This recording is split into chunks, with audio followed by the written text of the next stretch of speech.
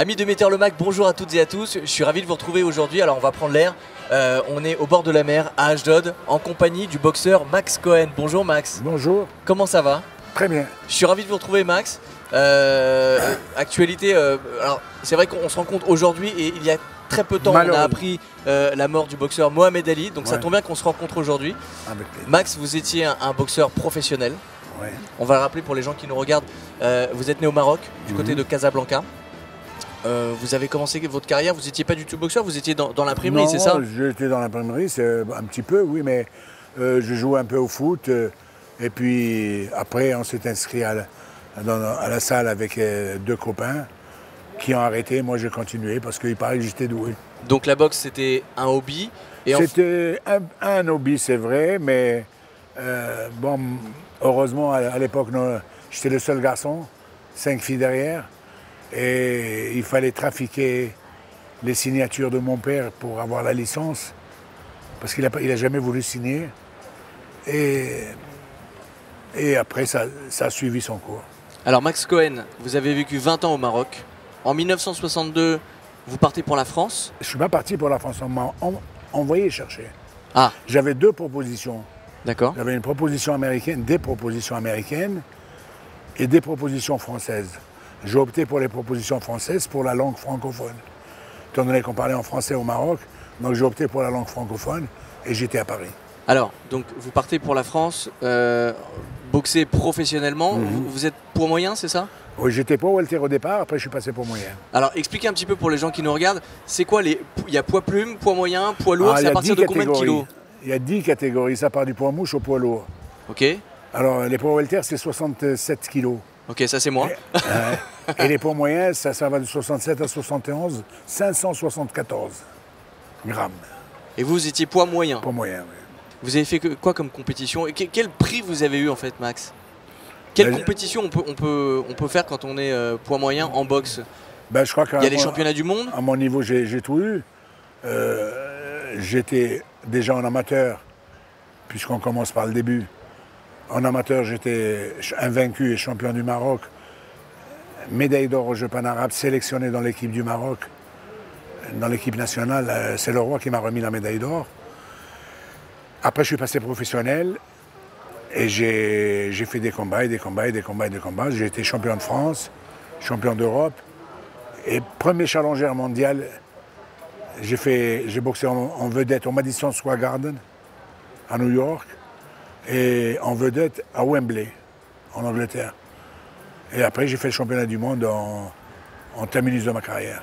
Je disais tout à l'heure, c'est vrai qu'on a ouvert un peu l'actualité avec la mort de Mohamed Ali.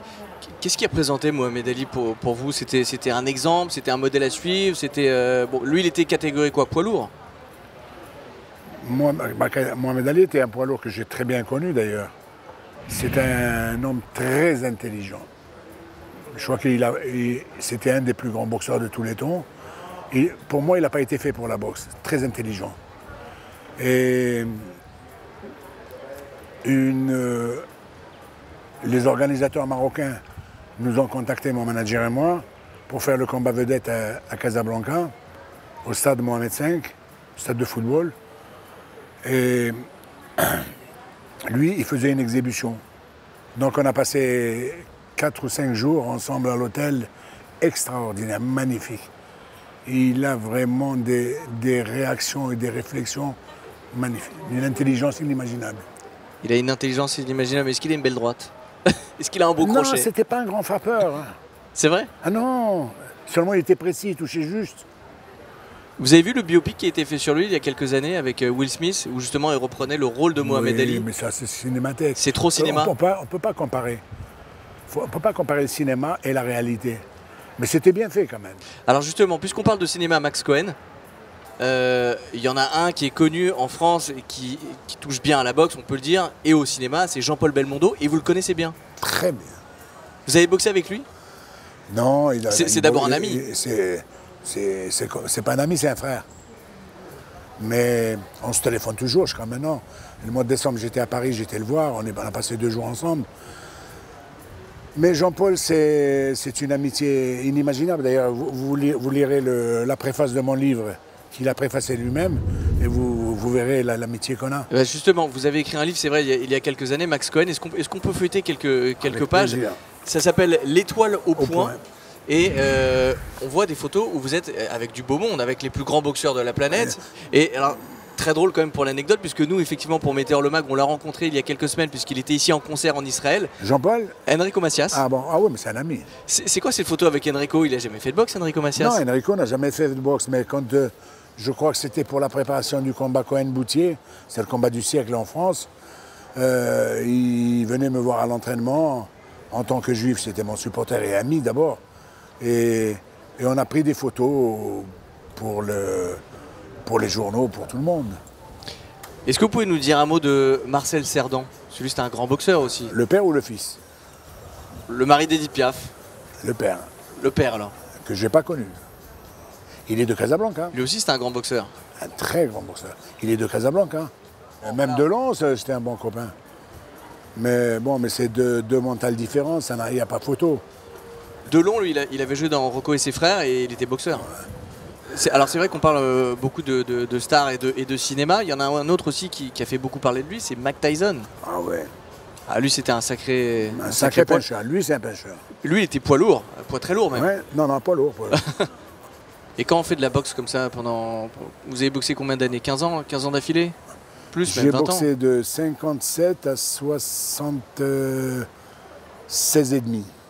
On n'a pas peur quand même de tous les jours de monter sur le ring et de de se casser le nez. De... Je, vous. C'est très physique.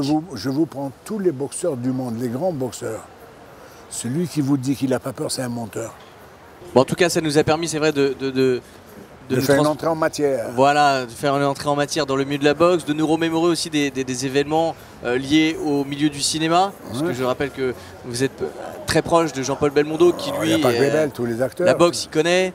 Euh, Mohamed Ali, euh, Mike Tyson aussi dont on a parlé, puisque Mike Tyson a même fait des apparitions euh, dans le cinéma.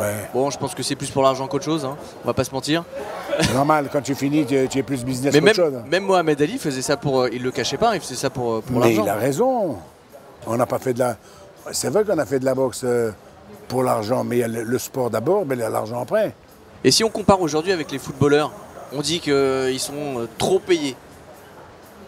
C'est justifiable Alors je vous répondrai, ils ne sont pas assez payés. Ils sont pas assez payés Pourquoi? Parce qu'ils ont une retraite très jeune et qu'après il faut qu'ils se démerdent? Non, non. Écoutez, vous travaillez journaliste. Oui. D'accord? Si demain vous, vous touchez un million de shekels, c'est que vous les, mettez, vous les méritez. C'est que la société elle gagne de l'argent. Bien sûr. Pourquoi vous ne les gagnerez pas? Max, j'étais ravi de vous avoir rencontré. Ah, je serais même ravi de vous revoir, avec plaisir. On va se revoir ici ou je ne veux pas dire sur un ring hein, parce que bon, non. je, vais avoir du mal.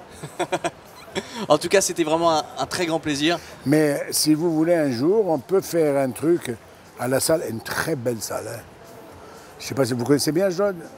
Je, commence même. Si vous voulez, on peut se fixer rendez-vous un soir. On y va ensemble et vous voyez, si vous voulez faire un reportage, ça, ça serait sympa. Avec grand plaisir, Max. Avec grand plaisir. Merci beaucoup. C'est moi qui vous remercie. Merci.